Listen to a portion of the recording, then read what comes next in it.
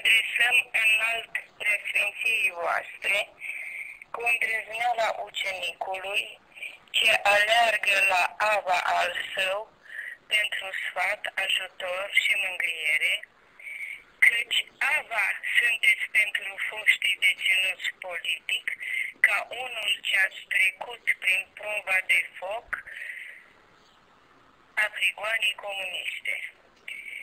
Noi suntem încredințați că cel care v-a ales să ne fiți ava a fost tăria noastră în această luptă nedreaptă și inegală, adică Domnul nostru Isus Hristos. Încurajați de o astfel de încredere, vă rugăm fierbinte să întreprindeți tot ce înțelepciunea preasfinției voastre va găsi de cuvință, ca să faceți clară tuturor celor ce vor să ia inițiative în ce privește mauzoleul de la Iud, că numai cei ce au supăr, suportat teroarea crimelor comuniste sunt îndreptățiți să aibă un cuvânt de spus cu privire la ce ar mai fi de adăugat la calvarul Aiudului. Bătrânii supraviețuitori ai temniților comuniste au înțeles de mult că ei sunt singurii care pot mărturisi cinstit și în duhul adevărului cum au fost aruncați peste pragul vieții de către hidra comunistă, martirii acestui neam greu încercat și pustilit în tot ce a avut el mai bun. Doar acești bătrâni au înțeles că este de datoria lor să-și cinstească morții, memoria și să le aducă pomenire creștină, căci au fost lipsiți de grija cea duhovnicească atunci când și-au dat Duhul în mâinile Părintelui Veșnic și chiar mai târziu când țara a fost lovită de amnezie. Cu o mare putere de dăruire, pretutindeni unde s-a suferit și s-a murit pentru cruce, neamț și țară, foștii deținuți politic au ridicat cu propriile lor puteri monumente comemorative care să amintească generațiilor viitoare suferințele cumplite îndurate și sacrificiile supreme oferite de acei fii ai neamului care s-au opus ateismului comunist și nu și-au plecat genunchii decât în fața lui Dumnezeu. Între toate câte s-au înălțat truițe, cruci, paraclise, monumente, cel mai semnificativ este fără îndoială mauzoleul de la Iud. Atât lăcaș de închinăciune și reculegere, cât și necropolă pentru semințele celor căzuți.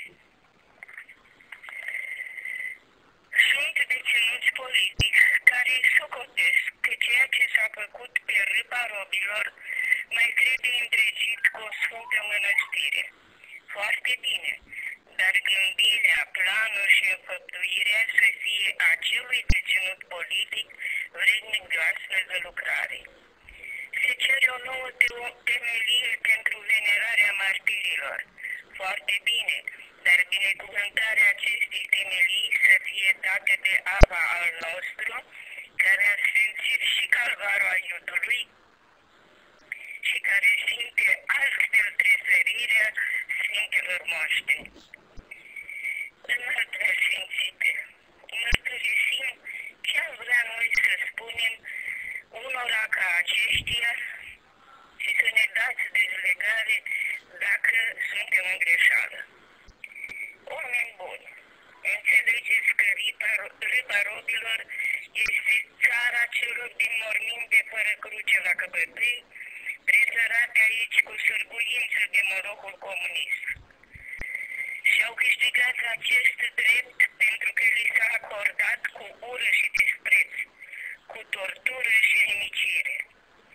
Toți ce se înalță pe acest loc nu poate avea binecuvântare decât de la o mână care pe lângă harul sfânt al preoției a primit și pe cel al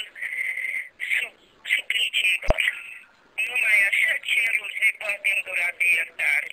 Numai așa somnul lor poate fi lin și binecuvântat. Ce este așa de greu de înțeles?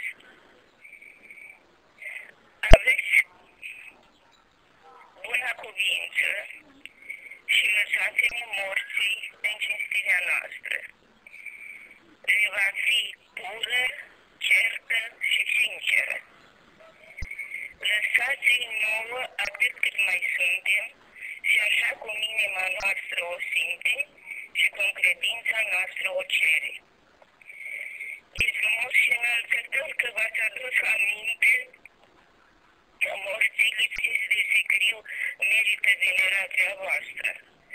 Puteți să le închinați memoriale pe orice colțișor din țară pe care ei au iubit-o cu prețul vieții. Noi credem însă că nicio binecuvântare nu va fi valabilă până nu se clarifică ce a însemnat pentru martiri